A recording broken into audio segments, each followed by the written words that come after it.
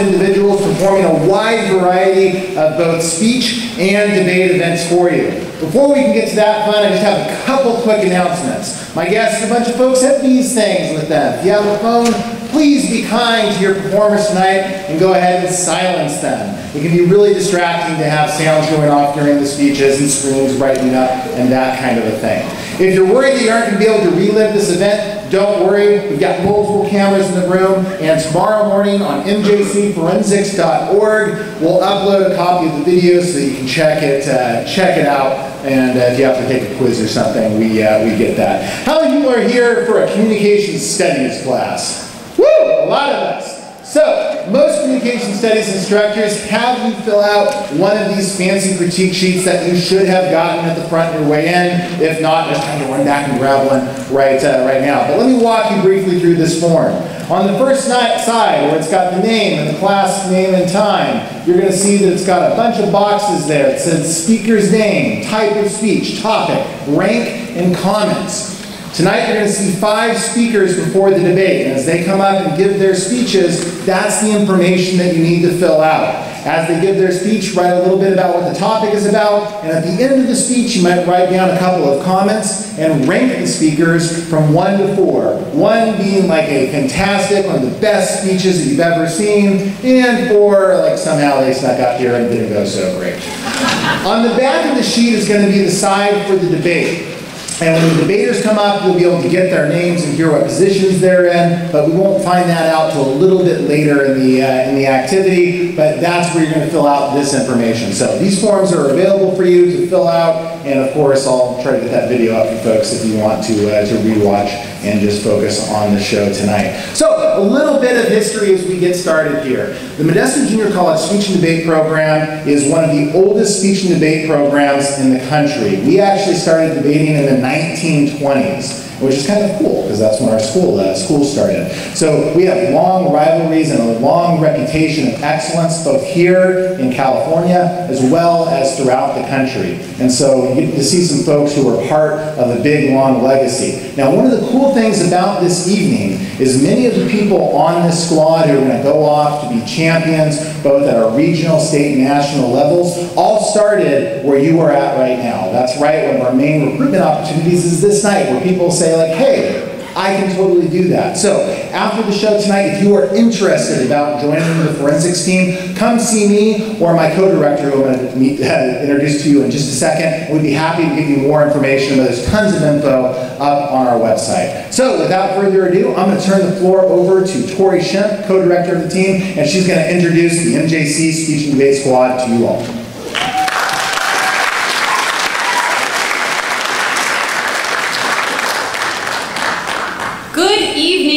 Everyone. Tonight it is my privilege to introduce the members of the speech and debate team to you. Our first member is Nemesio Alcazar, Joseph Angulo, Haley Chappell, Tarina Cochran, Sean Cox Marcelin, Alexis Dye, Eric Fuentes, Alexandria Hormozy, Kaylee Inman, Matthew Mackey, Carly Martin Andrews, Jared Medeiros, Cody Peterson, Bradford Phelps, David Ramirez, Jake Schoenberg, Brendan Ward, Trayvon Williams, and Abel Zambrano. This is your Fall 2016 Speech Debate team. You will see several of these individuals perform platform speeches, dramatic interpretation, and battle it out in a controversial debate. To guide you through the evening, you will have two charming masters of ceremony. They will explain what each event is and introduce you to each speaker. So please welcome Alexis Dye and David Ramirez.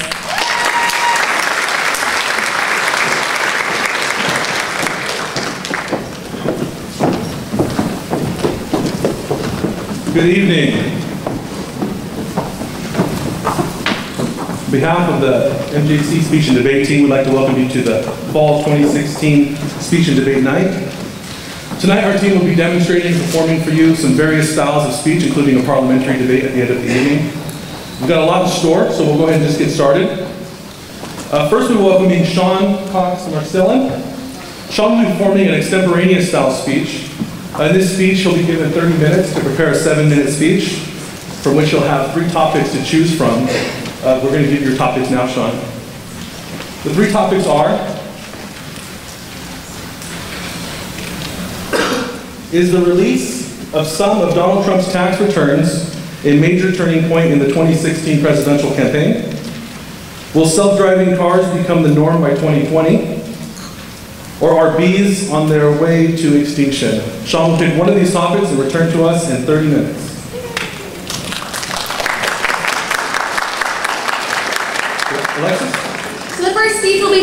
Tonight an impromptu style speech. Essentially, the speaker has two minutes to prepare a five-minute speech from a choice of three topics. Tonight, our speaker will be Matt Mackey. Uh, he is a communications major and second semester on the speech and debate team. Also, he really wants to be Regina George when he grows up.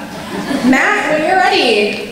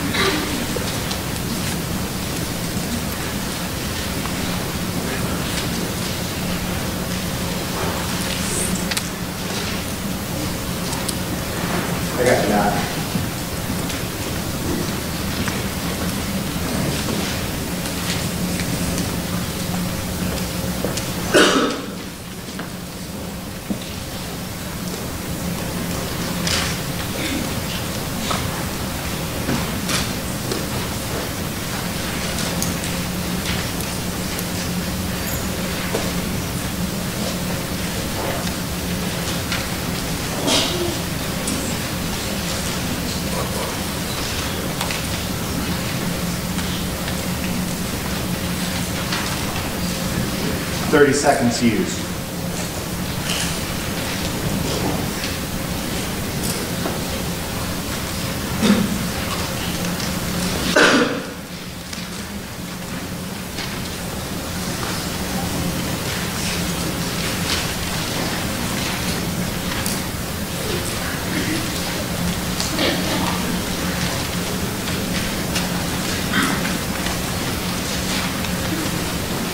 one minute.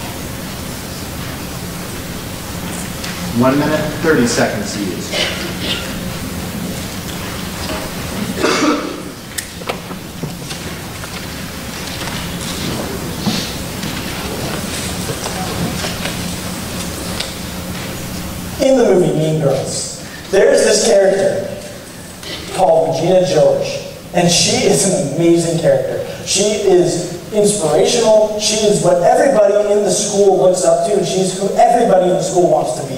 And everybody must adhere to her rules. But her friends know exactly what's up with her the moment they see her at the beginning of every day. The moment they sit down at the table, which you are very, very limited, uh, at a very limited cost allowed to sit down at, they know exactly what's going on, and if something's wrong, she makes it very obvious to her friends, but to outsiders it might not seem so obvious. This is the first thing I thought of when I received the quotation today. A friend will know you better the first minute they see you than an- your acquaintance will in a thousand years by unknown. This, this quotation I interpret to mean that your friends know you best, and I agree with this interpretation because we see it through a lot of facets in our lives, but we're going to look through three specific lenses today uh, that will explain how this is true. First, we're going to look at the book series Harry Potter and how we can see this is true um, in the three friends in that book series. Second, we're going to look at Meredith Grey and Cristina from Grey's Anatomy and talk about how their friendship is very easily able to uh, be summed up as being very strong. And third, we're going to talk about, uh, of all people, Iron Man and his uh, computer and his relationship with his computer and how uh, they seem to know each other better than any humans could ever interact. So first, Harry Potter. In the book series, there are three friends, Hermione, Ron, and Harry. And they're all, they're the three best of friends from the same house, Gryffindor. They are very close. They all align very closely morally, and they all believe in the same thing. And none of them back down from a challenge. So when they sit down at the table, though, in the common meeting hall to have their food and to enjoy conversation amongst each other, those three immediately know what's going on with the other one. Even though there are thousands of people in the room, those three are able to pick each other out and are able to figure out that they are what's going on. And if something's wrong, if something's going well, if maybe something absolutely awful has happened, they immediately know what is going on. So next, let's talk about Meredith and Cristina from Grey's Anatomy. These characters come to a very unlikely friendship because at first they don't really like each other much, but as time goes on, they find that they are kind of each other's person, if you will. And they are very, very close. And what happens is like when something's wrong with one of them, they constantly try to hold in that there's something wrong. They keep holding back and say, no, there's nothing wrong, there's nothing wrong. But the friend keeps pestering because they know, they know something is wrong. And they don't, they don't try, they try to hide it from each other, but it just doesn't work because they're just too close friends. And this is the kind of thing that we see in our own lives with our own friends. That we, we sit there and say, no, no, no, everything's fine, everything's fine. But they know, and they will keep asking because they're your friends, and that's what they do. And they know you better than anyone else could. So last, let's talk about an interesting one.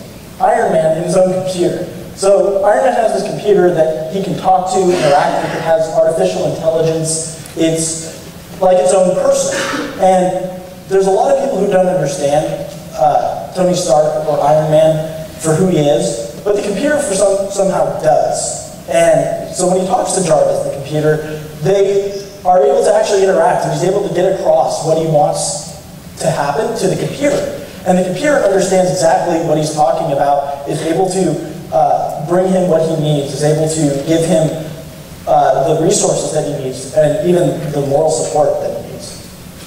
So today, we talked about Harry Potter and the three best friends in that series, and how they are so close that they can tell immediately what's going on if they were to see it. Next, we looked at Meredith and Cristina from Grey's Anatomy, and how they are such a close pair that no matter what happens, they always seem to be together, and they always seem to be able to understand each other and figure out what's going on uh, in that current time. And lastly, we talked about Iron Man, and his Jarvis computer, and how they're able to constantly interact in, in such a way that the computer immediately knows what he wants and he pretty much doesn't even have to say it, even though it's a computer, artificial intelligence, and the way that the series goes, it's able to figure out exactly what he wants. So this brings us back to Mean Girls and how when they sit down at that table every day for lunch, that every friend in the room knows immediately what's going on and what's wrong. And if there's something bothering the other person, they might not even already know what it is, but even if they don't tell them, they'll already have this idea of what's going to happen. Thank you.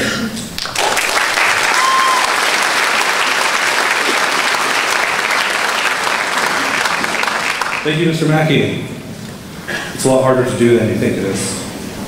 Our next speech will be a persuasive style speech. In this style of speech, uh, designed that the, the speaker is trying to change an audience's beliefs, and more importantly, get them to adhere to them and take some course of action. Our speaker tonight is Tarina Cochran. Please help me in welcoming her to the stage. Tarina is a communications studies major. This is her first semester on the speech and debate team. Her topic tonight will be that the U.S. film ratings system should be changed. Tarina, whenever you're ready. After making a film without sex, nudity, or violence, Love is Strange was given an R rating. The story is about two recently married men who have lost their house. A 2014 article from The Guardian states that the reasoning behind the bad rating was for bad language. However, the MPAA rating system today deserves a closer look. Ratings are presented to American viewers as an objective evaluation of content, but in fact, reflect a political and social standpoint. The U.S. film rating system functions as a moral gatekeeper and should be revised to increase transparency and inclusivity in the process. Today, we will first focus the lights on the problems in the MPAA rating system.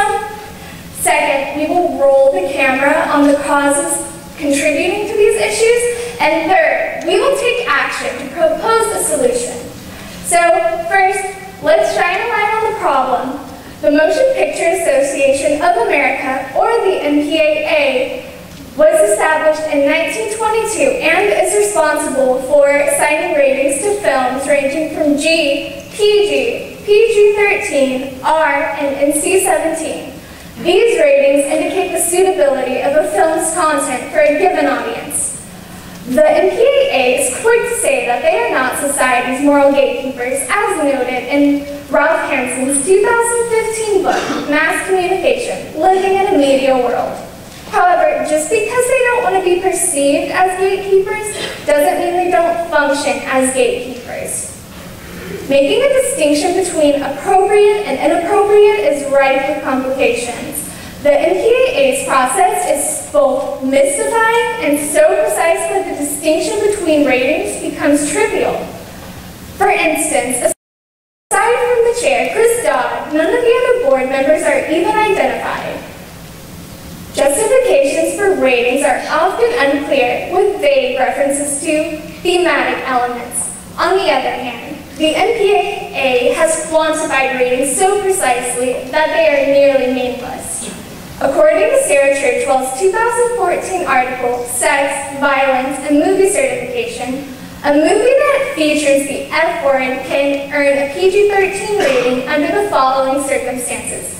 It is only used more than it is used no more than four times. It is used only as an adjective and never a verb, and it is used in a humorous context. At first glance, may the controversies over the rating system are insignificant. People are going to watch what they want to watch. However, these rating standards have a powerful impact on a film's commercial viability. According to Paula Bernstein's 2014 article on IndieWire, PG-13 films are much more likely to draw a larger audience than R-rated films. Films rated NC-17 or that have not been rated at all are rarely shown in theaters, even if the content is not sexual in nature. Likewise, unrated or NC-17 films rarely make it to commercial businesses such as Walmart and Blockbuster. The implications of this are twofold. First, Sexuality is targeted more than violence, and depictions of LGBTQ intimacy are targeted more than heterosexual intimacy. The way that content is rated affects what filmmakers do. For example, in 2016, the article Diversity in Hollywood states that controversial themes such as LGBT issues tend to be avoided. Similarly, an article from CNN Wire on August, published on August 5, 2016, reports that a same-sex kiss was cut from the film Carol, and yet a film featuring Paul Giamatti engaging in BDSM was left untouched. Second, these ratings contribute to public perception of what is appropriate, inappropriate, and normal, abnormal, and moral, immoral. When we restrict content because it is taboo, we stigmatize it. Media representation is not the only way to challenge stereotypes and raise awareness, but it is one way to bring traditionally marginalized identities and bodies to the center. Second, let's roll the camera on the major causes. There are two main causes contributing to this problem. First, the MPAA regulates some of the biggest production companies, including Walt Disney, Paramount, Sony, 20th Century Fox, Universal, and Warner Brothers. The studios profit when they release films that earn PG and PG-13 ratings. Thus, decision-making is based on profit margins instead of creative integrity. This is a chilling effect on film content directors and actors. For example, a 2016 article points out that Paul Feig, The director of Ghostbusters isn't allowed to say whether or not Kate McKinnon's character in the film is gay. Second, Americans have a conservative view of sexuality. Plenty of U.S. policies reflect this. For instance, federal funding goes to abstinence-only programs in schools. We often treat it as a moral duty to shield children from sexuality, especially it seems when it is not heterosexuality. However, Christina Lyons states in her article Media Violence, Last Access, September 2016, that technological advances allow children to access content that the MPAA wouldn't approve of anywhere, anytime. These problems continue to be more prevalent as we hide sexuality, but promote violence. Even in the cases where there is safe sex portrayed in the film, it is possible for the film to earn an NC-17 rating. Safety in this case seems to be less important to the MPAA board than teenagers possibly being exposed to content of a sexual nature. Even when, it is, even when it is already so accessible online. Third, let's take action to solve the problem. The MPAA should be remodeled to match the CNC, the film classification system in France. A 2016 article, France's right wing declares war on sex, explains that the United States gave the film blue is the warmest color an NC-17 rating, while the CNC rated it as appropriate for anyone over the age of 12. Additionally, the MPAA should operate under transparent proceedings. This includes identifying board members and publicly publishing justifications for ratings. Having the MPAA do this improves not only the quality of the films that the audience sees, but society as a whole when people can express their creativity freely with little restraint. Additionally, filmmakers should use an alternative rating system, such as the Film Rating Advisors, or FRA. In an article from 2014 entitled Film Rating Advisors debuts, it states that the FRA is able to catch issues early on before they need to reshoot. Preventing the problem before it happens saves these filmmakers money and time when they are operating under clearer standards. In the meantime, you can take action as an individual. As consumers, we can look to alternative rating systems, such as those proposed by Common Sense Media, a nonprofit organization that evaluates content Along with this idea, we can support NC-17 films by watching them when we are able to. This has become somewhat easier than in recent years. The article, Movie Ratings Fixed, from 2014 states that on Netflix, unrated movies appear right next to the regular ones, a big change from the blockbusters of yesteryear, which was stopped according to MPAA norms. The ease of access may be easier, but the decision is still in our hands. Today, we have talked, we have seen that the Motion Picture Association of America should not function as a moral gatekeeper and must adopt more transparent principles. We talked about what the problems are with the, with the rating system and the causes that drive the ratings and possible solutions. Most of all, what we've seen today is that Charles Kettering was right when he famously said, if you want to kill any idea in the world, get a committee working on it. Thank you.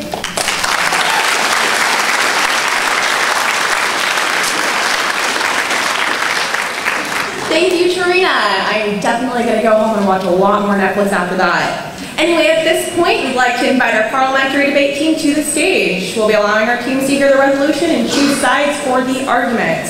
So parliamentary style debate is a limited style prep uh, format that pits two sides against each other on a certain subject. Teams will be given 20 minutes to prepare their cases and the debate will begin. Thank you for explaining that, Alexis. At this time, we're going to commence with a coin toss. This, uh, this will allow us to the team to choose sides and decide whether or not they'll be on the affirmative side or the negative side. Kaylee, you'll be... Uh, tails. Tails. It is tails. Affirmative or negative? They take the affirmative. Cody and Brendan, you are the negative. The resolution is the voters of California should reject Proposition 67.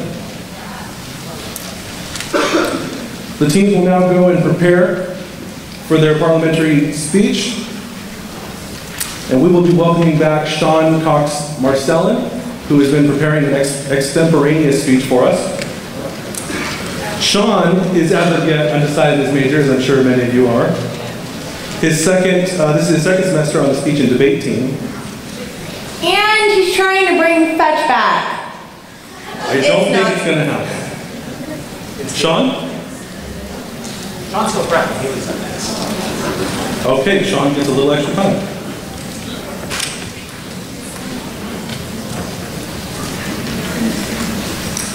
On that note, our next speech is actually a poetry performance, and the style often consists of several different pieces. The poems center on a common theme of social significance.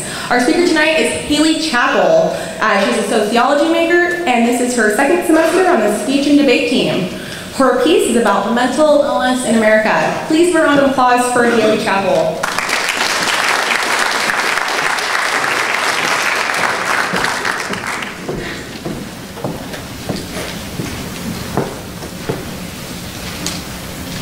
We have got to talk about the kids in all those Goosebumps books. For example, if your family vacation is to an amusement park called Horrorland and your station wagon explodes upon arrival in the parking lot, maybe shrugging it off, going to buy an extra large popcorn, and heading to the deadly doom slide is not your best possible course of action.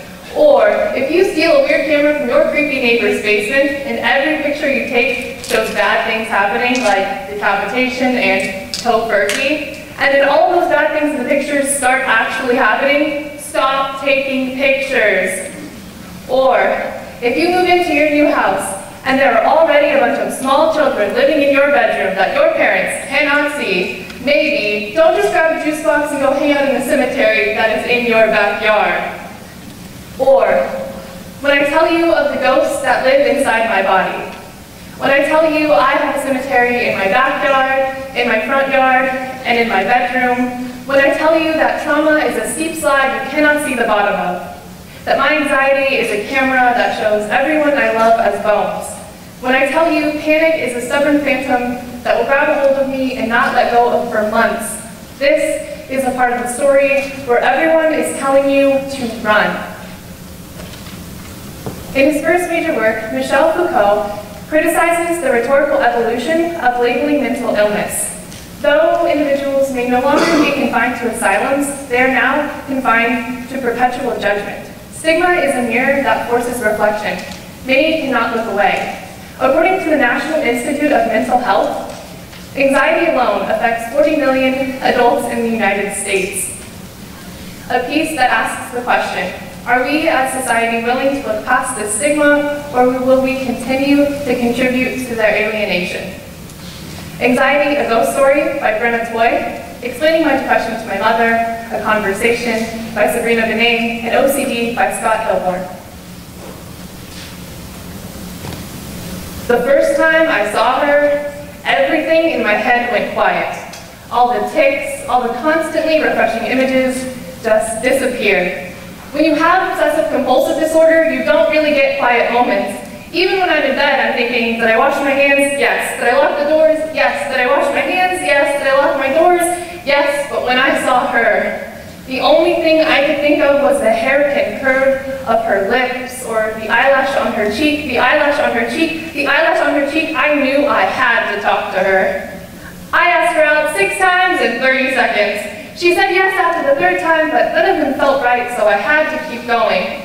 On our first date, I spent more time organizing my food by color than I did eating it or fucking talking to her, but she loved it. She loved that I had to kiss her goodbye 16 times, or 24 if it was Wednesday. She loved that it took me forever to walk home because there are a lot of cracks on her sidewalk.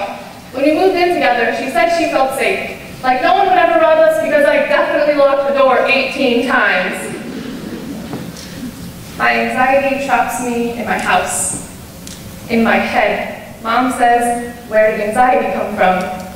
Anxiety is a cousin visiting from out of town. Depression felt obligated to bring to the party. Mom, I am the party. Only I am a party I don't want to be at. Mom says, try going to actual parties. Call your friends. Sure, I make plans. I make plans because I know I should want to go. I know that sometimes I would have wanted to go, but it's just not that much fun having fun when you don't want to have fun, Mom. Each night, Insomnia sweeps me up in his arms, dips me in the kitchen in the light of the stove. Insomnia has this romantic way of making the moon feel like the perfect company. Mom says, try counting sheep. But my mind can only count reasons to stay awake, so I go for walks, but my stuttering kneecaps clank like silver spoons held in strong arms with loose wrists. To love me is to love a haunted house. It's fun to visit once a year, but nobody wants to live there. And when you say, tell me about the bad days, you sound like all the neighborhood kids daring each other to ring the doorbell. You love me like the family walking through Horrorland holding hands. You are not dumb or stupid or even brave. You've just never seen the close-up of a haunting. Darling, this love will not cure me. It will not scrape the blood off of the baseboards, but it will turn all of the lights on. It will bring basil back from the farmer's market and plant it in all of the windowsills. It is the kind of love that gives me goosebumps. When you say to the ghost, if you're staying, then you'd better make room. I'd always watch her mouth when she talked. When she talked, when she talked, when she talked. When she said she loved me, her mouth would curl up at the edges. At night, she'd lay in bed and watch me turn the lights off and on and off and on and off and on and off and on and off. And she loved it. She'd close her eyes and imagine the days and nights were passing in front of her. Some mornings I'd start kissing her goodbye, but she'd leave because I was making her late for work. When I stopped in front of a crack in the sidewalk, she just kept walking. When she said she loved me, her mouth turned to a straight line. She told me that I was taking up too much of her time. Last week, she started sleeping at her mother's place. She told me she shouldn't have let me get so attached to her, that this whole thing was a mistake. But, Mom, I am lonely. I think I learned that when Dad left, how to turn the anger into lonely and the lonely into busy. So when I tell you I've been super busy lately, I mean I've been falling asleep on the couch watching SportsCenter to, to avoid confronting the empty side of my bed. But my depression always brings me back to my bed until my bones are the forgotten fossil of a skeleton sunken city, my mouth a boneyard of teeth broken from biting down on themselves, the hollow auditorium of my chest swoons with the echoes of a heartbeat. Mom still doesn't understand. Mom says, happiness is a decision.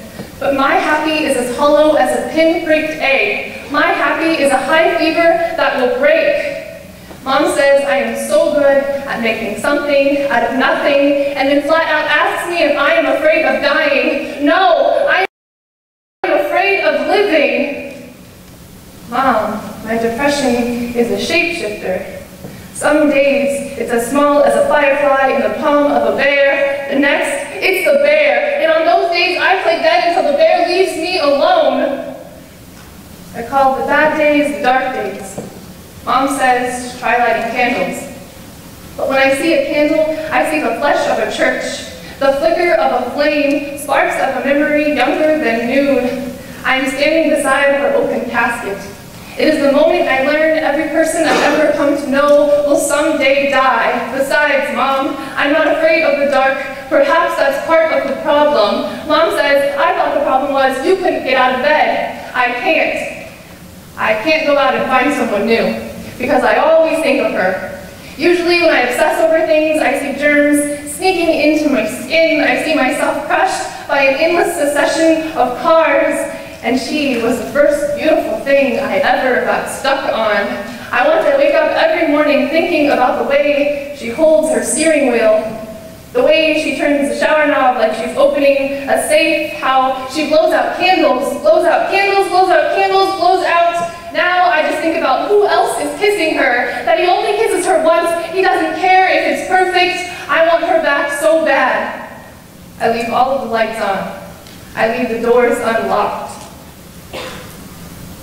And we kiss against the walls that tonight are not shaking. So we turn the music up and we dance to Miles Davis, and you say, my God, this house, the way that it stands, even on the months that no one goes out or comes into, how reckless the way that I love, like the first chapter of a ghost story, like the gentlest hand reaching out of the grave.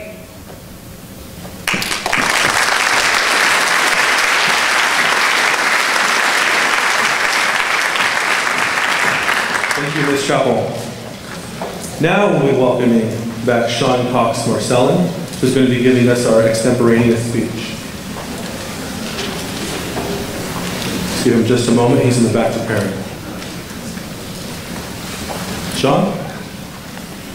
Help me welcoming Sean.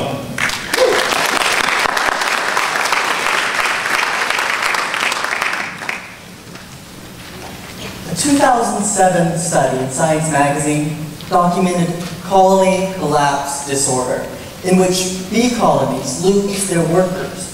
This affected colonies throughout the United States, up to 50 to 90 percent of all colonies in the United States. So this is why I picked the question number three. Are bees on their way to extinction? I answer no, they're not.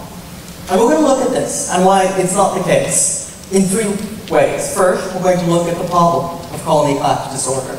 Then we're going to look into the cause before finally looking at the solution, how efforts underway right now are preventing the extinction of bees. So first, let's go out into the field and look and to find the pollen, I mean problem. A June 7, 2016 article on Vice.com said that pollinators play a significant role in food production in, and contribute billions of dollars to food yield, yet thousands of colonies, worker bees, just started disappearing. And this presented a mystery. Where were these worker bees going? And without the worker bees, how could these hives and colonies possibly survive? Would the worker bees simply die? Or are they running off to join a bee worker communist revolution? Pollination is key to very important agricultural crops such as fruits and vegetables, which rely ultimately on pollination. Um, furthermore, bees have an important role in the ecology. So when colonies, up to three-fourths of them, lose their workers, we can see how this can be an essential and dangerous problem. So let's look then into the hive, so to speak, to try to look to see what the problem is that is causing colony collapse disorder. Now, despite extensive research for many years, there has been no definitive root cause identified. There have been many theories that have been put forth. The first one is that pesticides make queens more susceptible to a varroa mite, which limits their ability to reproduce. If your queens aren't reproducing, they're not making more workers to replace the ones that die, and your hive collapses. The second theory is that neonicotinoids disrupt the homing mechanism in bees. Simply put, the workers go out in the field and they can't find their way back home. And the third one, according to the EPA, there are two new diseases that are affecting bees. The first is Israeli acute paralysis virus, and the second is a gut parasite called Nosema. The rise of these diseases, in addition to these other causes, has been affecting these abilities to survive, affecting their ability for their colonies to continue. But the news is good. Ultimately, we are solving this problem already. According to an article from New Scientist on September 14, 2015, already in both the United States and the European Union, there are bans on neonicotinoids. The EPA, meanwhile, is stepping up research, documentation, as well as restrictions. They've recognized that these causes, whatever they are, exist, and they're attacking them head on. Furthermore, according to a Slate article from July 8, 2016, these aren't even that endangered. First of all, queens lay up to 1,500 to 2,000 eggs every day. So when you hear about workers in the thousands dying, workers in the thousands are being replaced every day in these colonies. And next, the number of colonies peaked in 1989 at 3.5 million colonies in the United States. And by 2008, at the height of colony collapse disorder height, that number had dropped to 2.4 million colonies of bees. And since then, that number's climbed. Now there are today 2.7 billion colonies of bees. Simply point put, if the number of your population is rising, you're not going extinct. So looking at the question, are bees on their way to extinction? I answered no. I did this by looking at the problem, colony collapse disorder, the causes, the many that there are, and ultimately the solutions that we're taking now, and the evidence that they are already working, that the populations are already on the rise.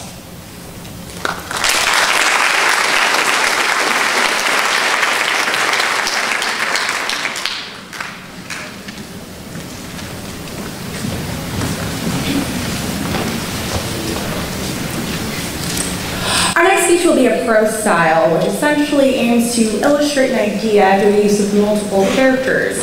So, uh, the speaker will embody multiple characters without the use of props or costumes in order to get an idea across to you, the audience. Our speaker tonight is Eric Fuentes. He is a media arts major, and this is his third semester uh, on our and debate team.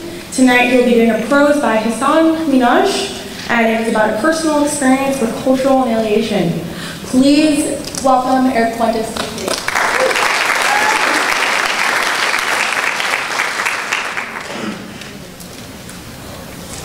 When I was in the first grade, I fell in love with a girl.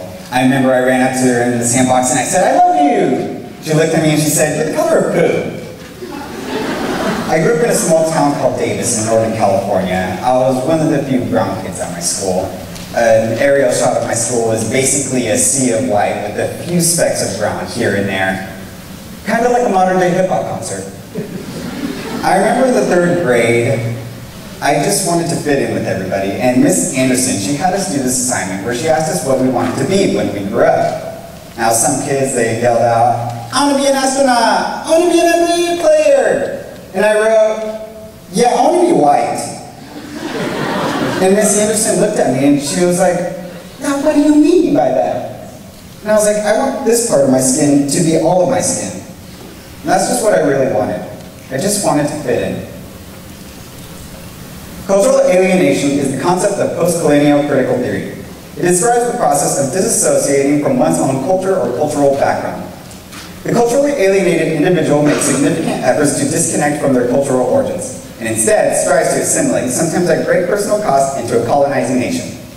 In the 2010 article published in the Journal of Neuropsychiatry, Psychiatry, and Psychotherapy, Dr. Benedetti Gianmaria argues that this phenomenon can spread to whole wide populations of individuals, deprived of their traditional, cultural, and social values.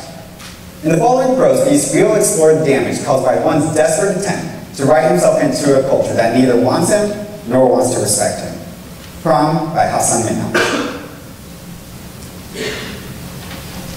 My dad had immigrated from India and moved to Davis, and he was the only son to make it to the States, and I was his only son, which basically meant we had very strict rules.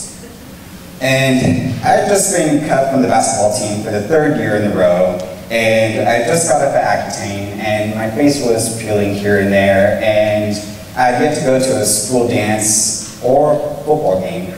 So, you know, I was just murdering it, just killing the Davis High social scene. But there was one bright spot, and her name was, was Bethany Reed. And Bethany Reed, she had red curly hair. She just moved here from Ohio. She smelled amazing. She smelled like Big Red Cinnamon Gum, even after PE. I don't know how she did it, but it was amazing. Now, we had AP Calc together, and she didn't know about the Davis High social hierarchy, so she thought my jokes were funny. She thought that I was smart. But you know, she really liked my AOL instant message game. And we would have AP Calc together, and we hit it off. So I remember she invited me to her house for a study session one time, and her family, they're, they just moved here from Ohio, and their, her father is this well-to-do cardiologist, and they have this really nice Ford Expedition, this nice white picket fence, and this dog. they look like they're out of J. Crew catalog. Now, we were at dinner, and we're sitting at the dinner table, and all of a sudden her dad passes by, and he goes, like some more mashed potatoes? Plop. And I was like, wow, white people.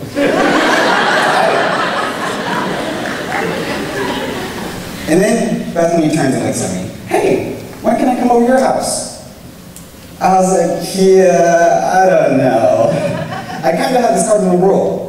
I didn't invite high school friends over to my house. I mean, open yourself up to public ridicule? Nah, I wasn't going to do that. What's that smell? What language are your parents speaking? What are they saying right now? Nah, I wasn't about to do that. But I felt like Bethany got it. So on a whim, I invited her to my house. And I remember running home. I ran straight through the door, through the door, and I was like, "Look, mom, dad, school friend, coming over. Everybody be normal." And my dad was like, "Hassan, don't worry about it. We are normal." I was just like, "Oh, please oh, don't do that." now we're sitting at the dinner table. Food is cooking, and I start to panic. Oh, jeez, please don't say anything. Please don't say anything. Bethany looks up from her book. That must be nice. And I was just like, I love you. Will you marry me, my white princess? Okay, I didn't actually say that part, but I felt like she actually accepted me. One night, we actually walked to her car and I was saying goodbye and she actually leans over and she kisses me. Bam, right there on the lips. And that was awesome. Now, our AP Calc teacher, he had a mission. He wanted us to have amazing lives outside of our textbooks, because, you know, we're nerds. now, I remember one day during the spring quarter, he gets up in front of the class and he says, Alrighty, you guys are killing it academically, you're gonna go to the nation's best universities, but I want you guys to have lives outside of the calc textbooks, which is why I'm making prom mandatory. And one of the kids in the back was like, do we get extra credit? And he said, no, you get life credit. You're going to prom. the weeks went on, right? And everybody got a date to prom. Now I'm just waiting, and three days right before prom, the teacher, he actually pulls out a graphic on the whiteboard. Whoosh! Last two names on the board were Hassan Minhaj and Bethany Reed. And the whole class erupted, Woo! Yeah! Go Hassan! And I was like, oh man, there's no way my dad is actually gonna let me go. But Bethany was cool. She didn't say anything, she just let the bell ring. We meet at my locker and she says, hey, look, you've been my family's, you've been my best friend since my family moved here from Ohio. And I was wondering, would you go to prom with me? And I was like, yes, yes, I'll go to prom with you, my white princess. okay, I didn't actually say that but did say yes. So I actually went home and I asked my father if I can go. You know what he says? Oh, Hassan, are you crazy? I will break your face. And I was like, okay, noted. So option B, I actually called Beth, and I was like, look, my dad won't let me go to prom, but I'm gonna sneak out of my house and I'm gonna get over to your house, and if my dad catches me and kills me, YOLO. What a way to go out, right? the night of prom comes around, I get my JCPenney suit on and I hop out the window and I get on my bike on the side of the house. It's my trusted Huffy and I get on the bike and I start paddling down the road and I'm moving and I'm just like, oh man, I can't believe I'm doing this in the suit. And I'm making sure that my slacks don't get caught up in my bike chains because that, who would want that, right? And I'm bouncing the corsage and it's this beautiful day this evening, the sun is setting and I hop off my bike, I'm walking down the driveway and I'm thinking to myself, wow, this is happening. I'm going to prom with Bethany Reed. This right here, this is the American dream.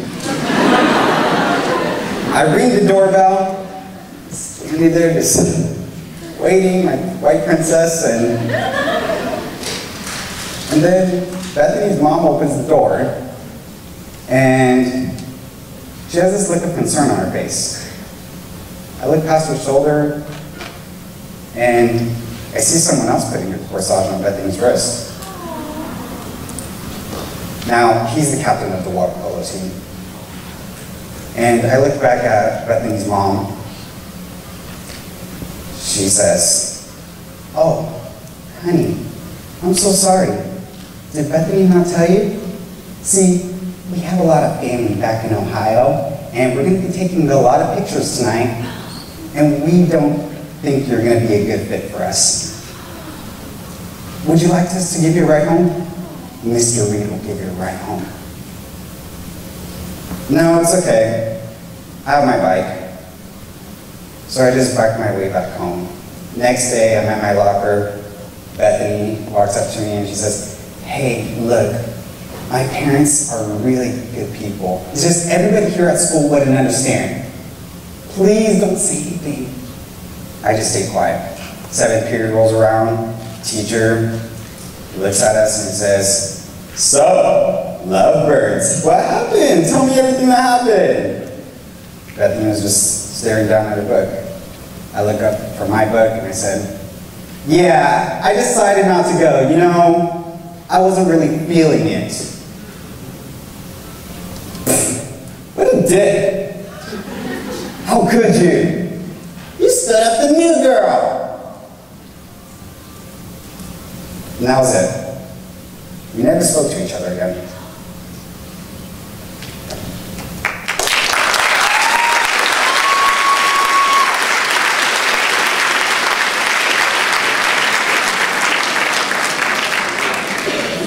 Thank you, Mr. Fuentes. It is now time for our final event of the evening. That is our parliamentary style debate. Please help me in welcoming our debaters to the stage.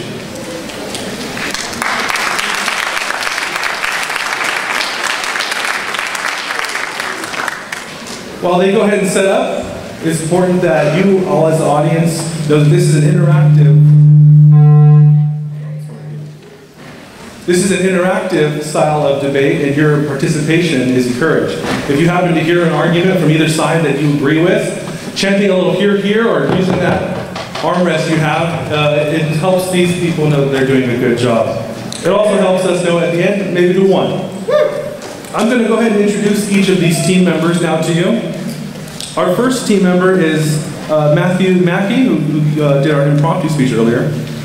Uh, Mr. Mackey is a communications major. This is his second semester on the speech and debate team. His partner is Kaylee Inman. Inman. Uh, she is also a communications major, and this is her first semester on our speech and debate team. On the other side here, we have Brendan Michael Ward, who is an engineering and mathematics major. This is his first semester on the team. And Cody Peterson is our final member. Mr. Peterson is also a communications major, and this is his third semester on the team. So go ahead and give them a hand. And I'm going to turn it over now to Alexis, who's going to run this debate for us. Just to start, I have a fun fact about Mr. Cody Peterson over here. He's actually a bad pun aficionado. His favorite currently being the following.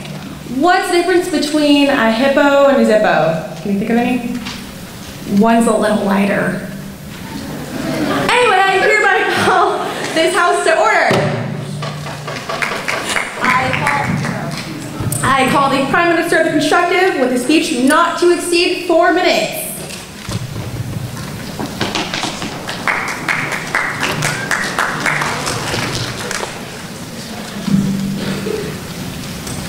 How's everyone doing today? Yeah? All right, so first of all, I'd like to thank the uh, uh, opposition for coming out today and attempting to debate against us in this, today's debate. I'd also like to thank my partner Kaylee for uh, helping me figure out everything we're about to do.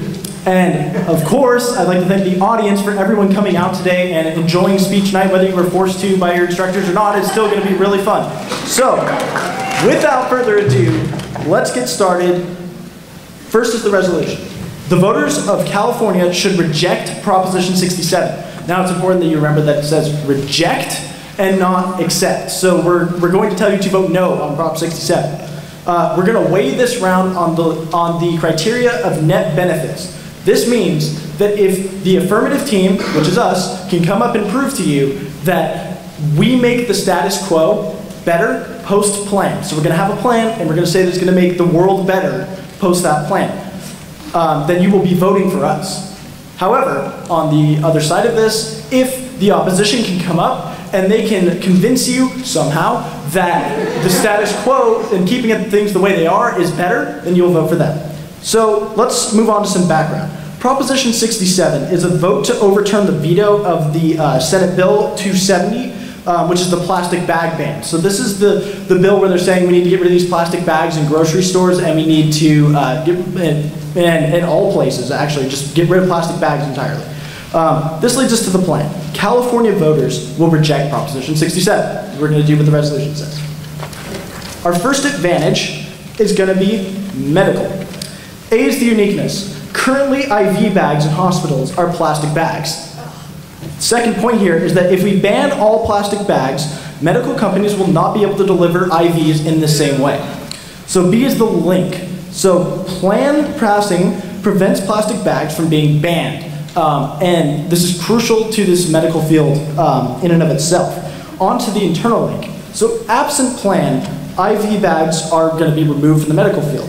Second point here is that medical companies must raise prices in order to compensate for some sort of new IV delivery system, uh, which isn't going to be good for people. You can be paying more for your medical bills. That's just awful. Um, so on to the impacts of this is that first, a decline in the access to healthcare, not just because of the monetary reasons, but because these companies are going to have a harder, to, or these medical companies are going to have a harder time uh, bringing IVs to the table. They're going to have a harder time like delivering them because uh, they don't they don't have the plastic bags to do it anymore. And secondly, this is just going to lead to an increase in death. That, with a lack of healthcare accessibility, you're going to see more people dying from lack of healthcare. It just makes sense.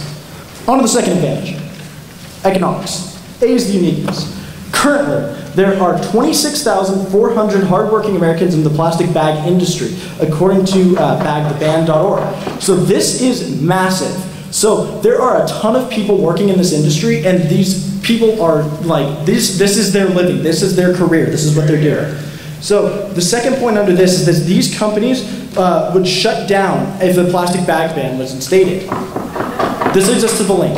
Plan saves these 26,400 jobs that these Americans are working currently. And uh, this moves us on to the internal link. With, without the plan, if we don't pass this, uh, these jobs are lost. They're just completely gone because these plastic bag companies can no longer function when their product has been removed uh, from, the, from being able to exist. Um, so the second point here is that this means that unemployment leads to a decline in the economy and that unemployment is the number one factor leading to poverty.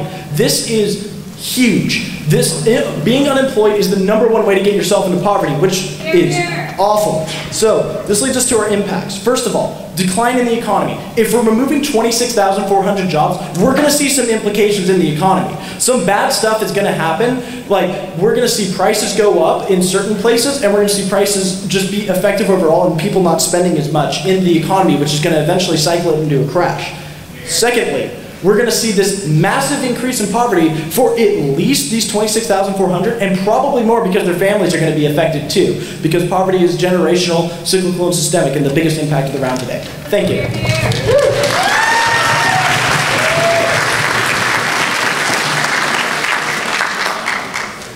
Next up, we have the Leader of the Opposition with a constructive speech not to exceed five minutes.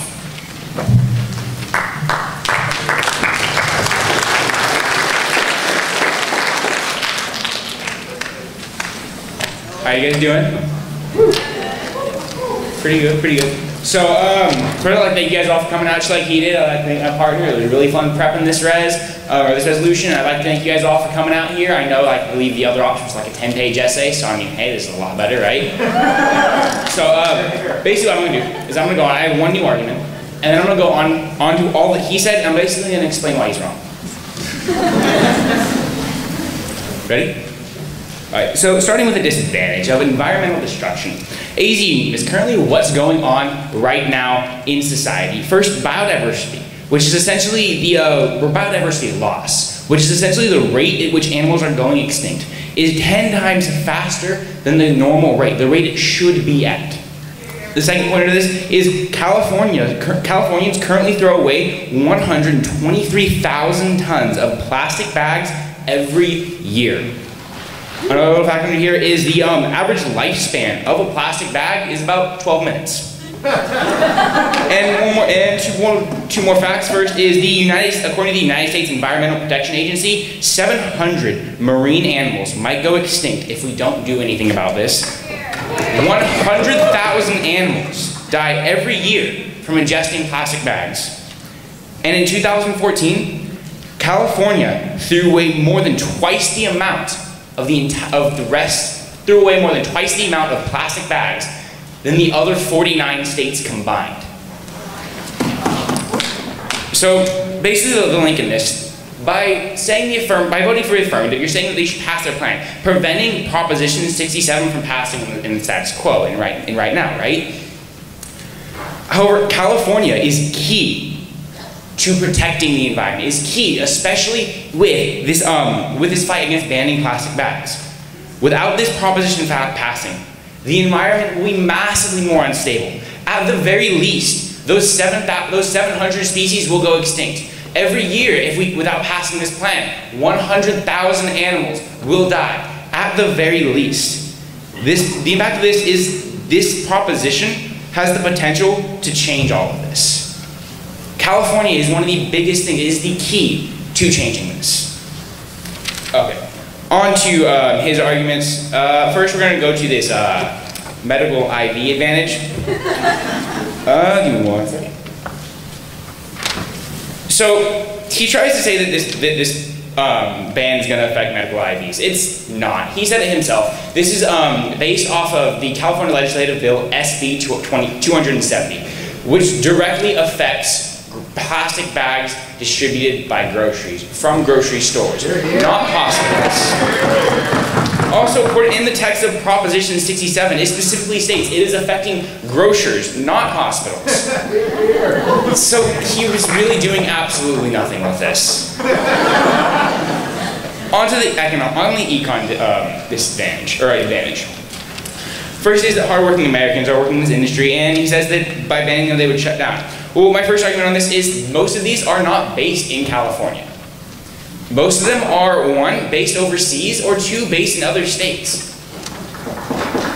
So it's not going to, um, so he tries to say it's going to, um, um, so the plan isn't going to shut these down. They still do have products. Yes, California is key, but right now in the status quo, he does not, or right now, he does not actually solve for this. These plants still exist. There are still other states. Yes, California is a lot. Yes, that is massively important. None of these jobs are going to be shut down because there is still one overseas, as I mentioned, and two in uh, still distributing, which hopefully will be changed in the future.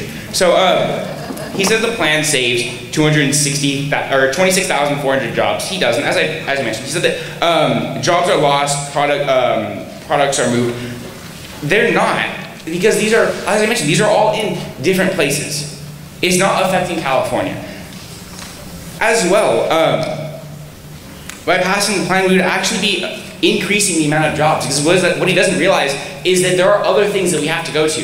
They're not just going to make you walk out of the grocery store carrying all your groceries. There's paper bags. There's um, recyclable bags. There's um, reusable bags. Those still need to be produced. Uh, so he tries to say that um, by ending plastic bags going to crash the economy, that for some reason these 26,400 jobs are going to crash the economy. That's not likely. Right now, the unemployment is at 4.9%. What that means is that the entire millions upon millions of people in the United States, only 4.9% of them are unemployed. If 26,400 people were going to make the economy crash, it would have already crashed right now. Uh, yeah, uh, thank you. That's all.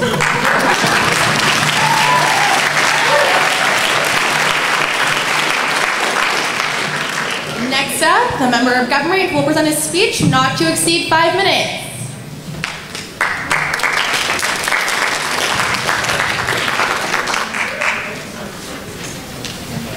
All right, how are we doing today? Come on, guys, excitement.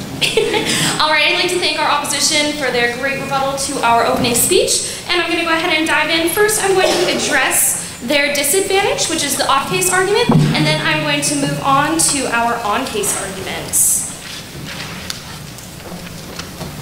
All right, so we are going to start with the fact that they are discussing how um, the rate of animals will go extinct and that California currently throws away tons of bags per year. Um,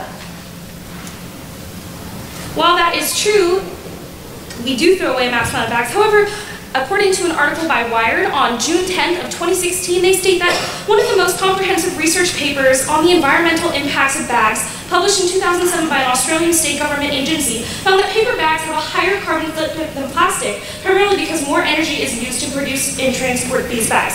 So this is putting out a massive carbon footprint. Um, so again, that would address the uniqueness. Yes? Have animals been dying from ingesting paper bags?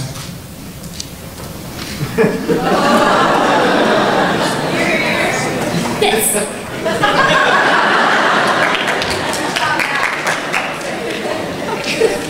So moving on to our on-case arguments, um, they bring up that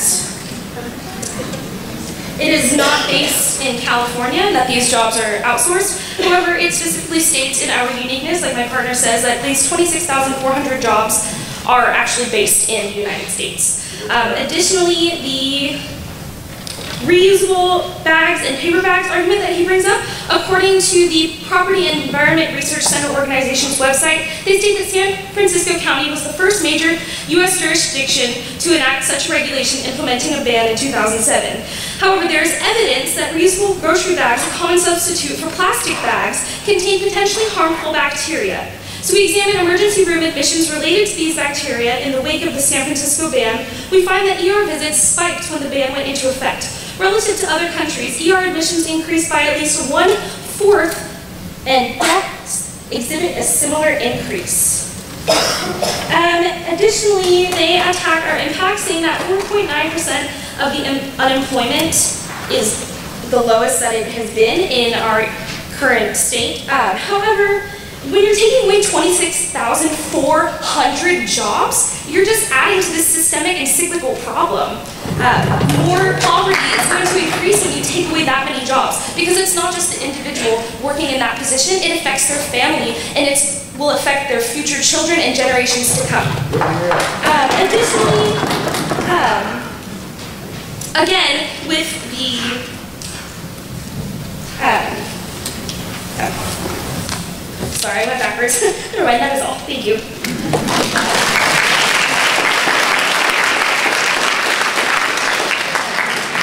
Next up, we have a member of opposition with a speech not to exceed five minutes.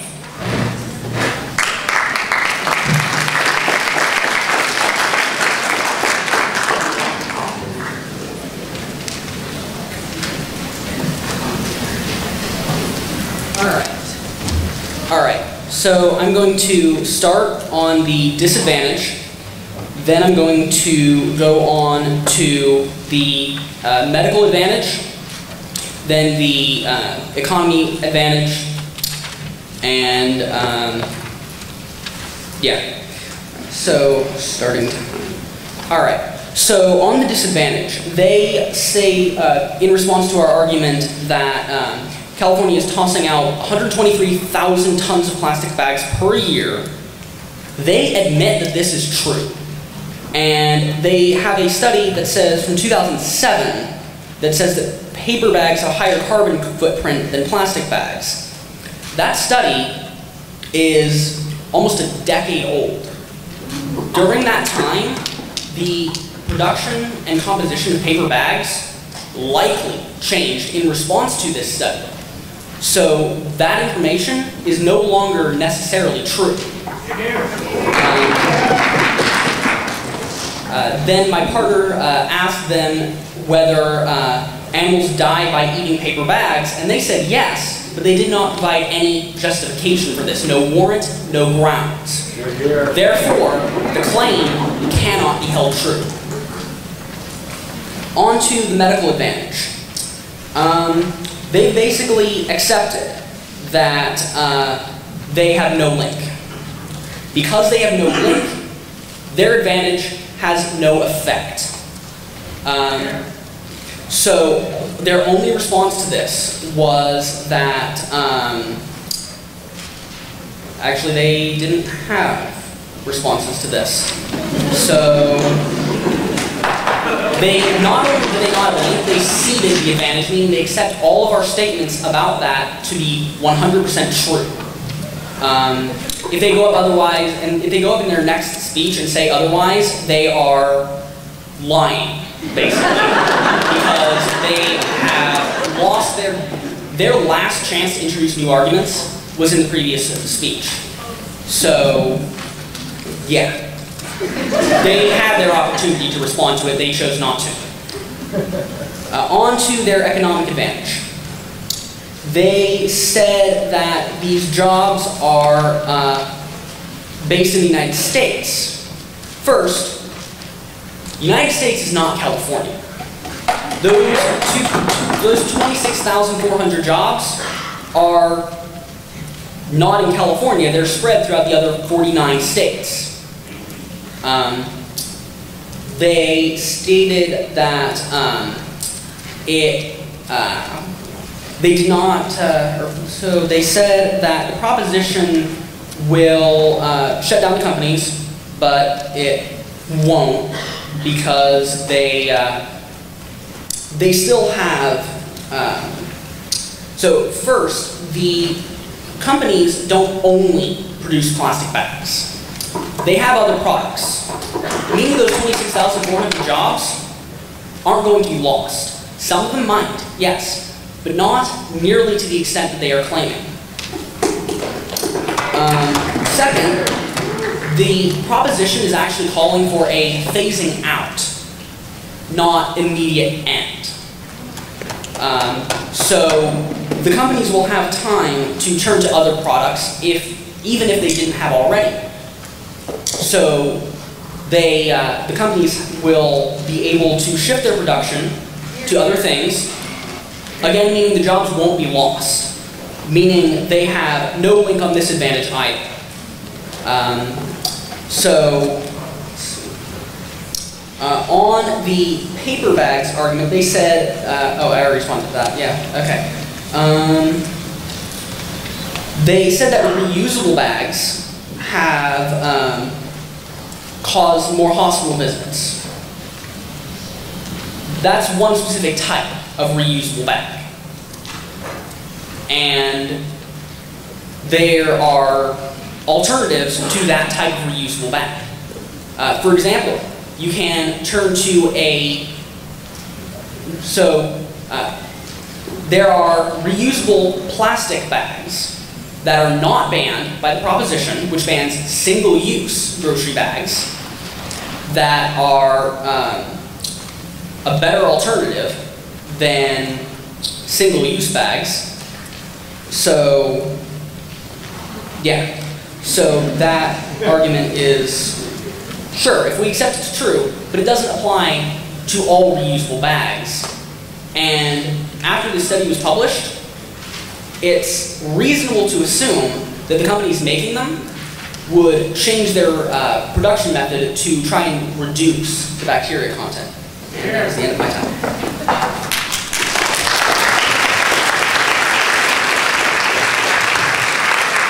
Next up, we have the Leader of Opposition with a rebuttal not to exceed two minutes. You guys ready? That's. I like to hear that. One guy, you're awesome. so basically what I'm going to do is I'm going to um, go straight I'm to compare these impacts and basically what went on to the debate and the reason, I'm going to give you a reason why you're voting for the negative. So today you're gonna be voting for the negative team because we need Proposition 67. Simple as that. If you look at the impacts that we have, we have this disadvantage about economic destruction, and we have this, um, and then we have this um, economic advantage saying that we lose uh, some jobs if it passed, right? So let's compare some numbers. First, on this environmental destruction. If nothing is done to change, 700 species will go extinct. To be clear, they are no longer existing. Versus, at best, 26,400 jobs. As my partner said, that number is probably nowhere near as high. We have 100,000 animals dying every year from plastic bags. And at best, 26,400 jobs. That does not compare. That's nowhere close to comparing. They try to say this is going to cause an economic collapse. However, I part brought it up, and I'm going to bring it up again. There's not going to be an economic collapse from 26,400 jobs. The fact that there is a massive, still massive amount of people, 4.9% out of millions and millions of people, that's not going to do any, that's not going to do much for the economy. All they have is this small impact of poverty versus the extinction of all of these species. Species that will not go extinct. They never said anything about with if this bill if this bill passes, these species have a significantly greater chance at survival. That's why you need to vote for the negative team. You need to vote for the negative team for these species, for these animals that are dying every year because of plastic bags. Thank you, and you should be voting for the negative today.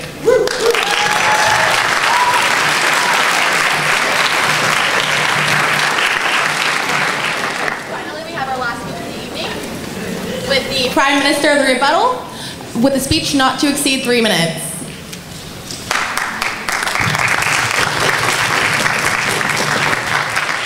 Still doing all right?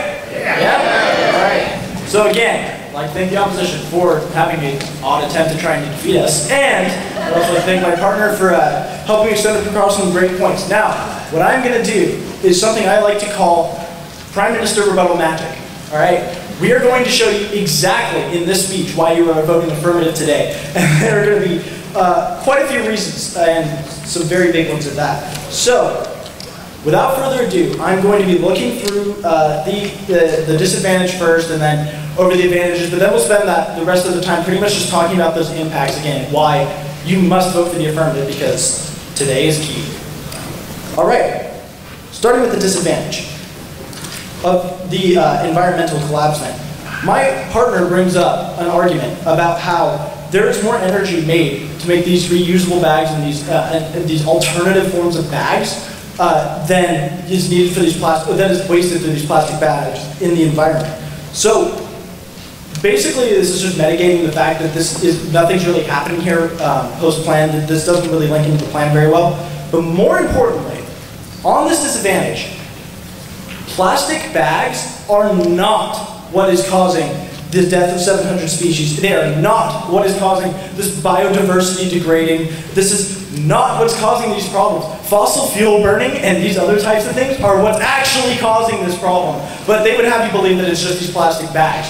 The banning of plastic bags will not solve this problem. These species are still going to go extinct. Biodiversity would still be destroyed in the status quo or post-plan. This just can, this is just it's going to happen. Like it's inevitable. Neither, nobody can solve for this on either side. So don't believe the fact that they think they can. So this just doesn't stand within the debate today.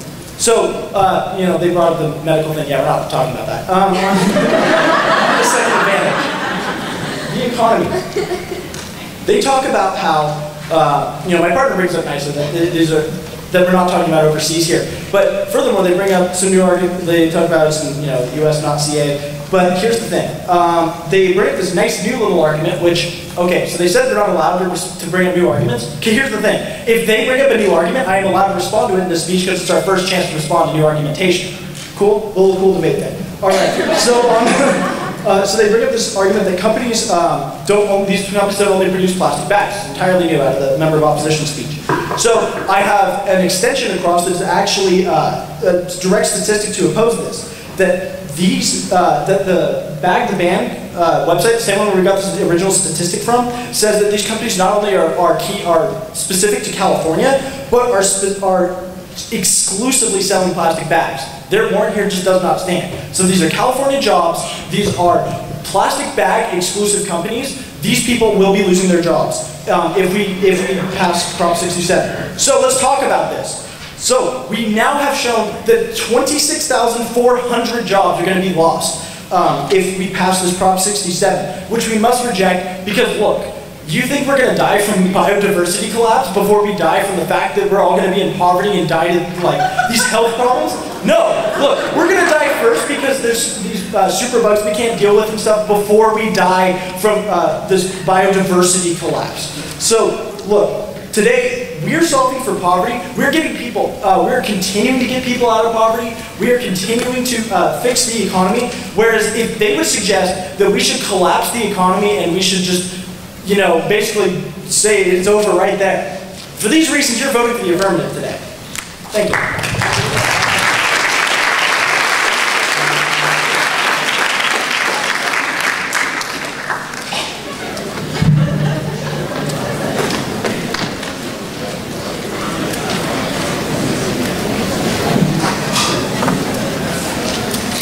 One last big round of applause for all these guys.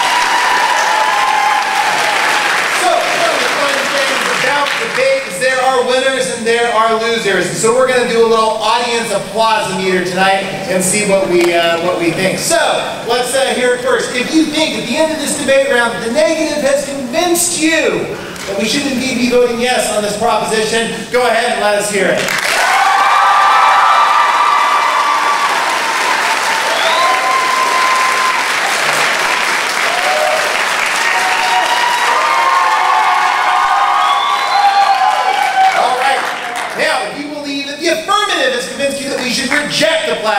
That ban, let's go ahead and hear it for the affirmative.